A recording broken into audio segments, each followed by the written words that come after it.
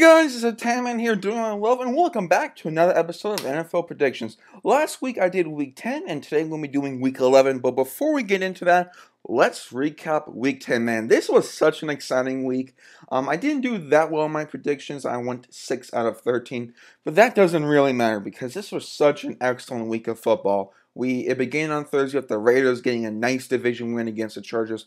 Could be one of the last primetime games in Oakland. We had Lamar Jackson showing off against Cincinnati. We had the Browns, Titans, and Dolphins all get upset wins. Man, that Titans Chiefs game was insane. The Battle of New York was great. Steelers defense looks really good.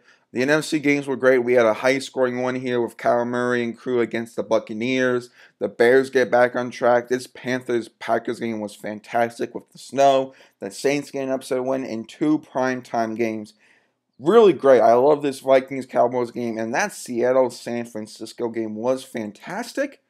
So let's go to week 11. Speaking of primetime, Thursday night, Steelers Browns. Both teams, I feel like this is a must win. If the Browns want to try to the playoffs, they need to win this game, and for Steelers to stay on track, they need to win this as well. I'm going with Pittsburgh. Um, their defense is playing really great. TJ Watt, Minkah Fitzpatrick, Bud Dupree, these guys are playing fantastic. I know their offense isn't anything spectacular, but it gets the job done, and I think they're going to shut down Cleveland here.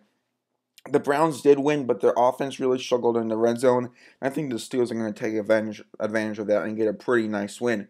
We have another division game. Nick Foles, I think, comes back this game. Oh yeah, he is starting with the Jaguars. I don't know about Jacoby Brissett and his deal. I feel like I'm going to go with the Colts, though. Um, I think it's going to take a week or two for Nick Foles to kind of get back here as he was out a couple of weeks. So I think Indy will win. We have another division game, Bills and Dolphins. Dolphins are a two-game winning streak. I'm going to give them their third win in a row. And for me, the reason I'm doing this is Buffalo's looked okay the past couple of weeks, and division games, you just never know. You like the Falcons got the upset of the Saints. Who would have thought of that? I think that's going to be kind of this division upset game man, I am super excited for this Texans Ravens game. You have Deshaun Watson playing fantastic against Lamar Jackson, who's playing like an MVP. I'm going for Baltimore. Um, I just think that the Ravens' offense is at a level where no one can stop them. I think this game will be super entertaining, but I have Baltimore getting the win. Um, the Bengals, I think, are going to get the 10th loss here. The Raiders look really good, and I think they have a shot of winning the AFC West.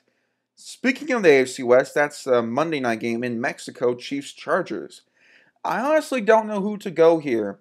One of the reasons the Chargers lost is the offensive line had difficulty containing Oakland, but the Chiefs defense is okay. I'm actually going to go Kansas City. I think Patrick Mahomes and the offense will get it done in Mexico and kind of get back on track here. We have three AFC versus NFC games. Jets, Redskins, both teams not doing that well. And battle of young QBs, Sam Darnold against Dwayne Haskins. Oh, yes, Dwayne Haskins is starting the rest of the season. And for me personally, I'm going to go with the Jets. Um, I think that um, their defense was good last week against the Giants. Jamal Adams was really great. And I just like Sam Darnold a bit more than Dwayne Haskins. I trust him more. And I think the Jets will get their third win of the season. Broncos and Vikings here. I'm going to go Minnesota. I think the Vikings are one of the best NFC teams. Kirk Cousins is playing really well. Dalvin Cook is playing fantastic.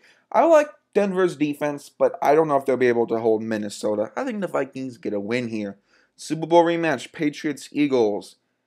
Man, I'm going to go with the Eagles. This is kind of my upset of the week.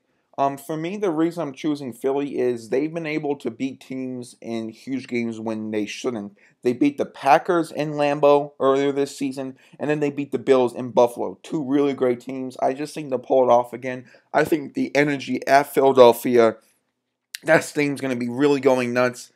I think they're going to get a win. If the Patriots win, it wouldn't surprise me. That's kind of my second upset of the week, I guess you could say, along with the Miami game. NFC game, Saints Tampa Bay. This game is really interesting, and I think this game is going to be really telling of the Saints. Was that Atlanta game just kind of a fluke, or are they actually not as good as we thought? I think that game was just kind of a fluke. I think the Saints will win a high scoring game. Um, Mike Evans, Chris Godwin against Michael Thomas and Alvin Kamara should be really fun to watch. I think the Saints get the win. Cowboys Lions. Lions on a two game losing streak. I think that stops.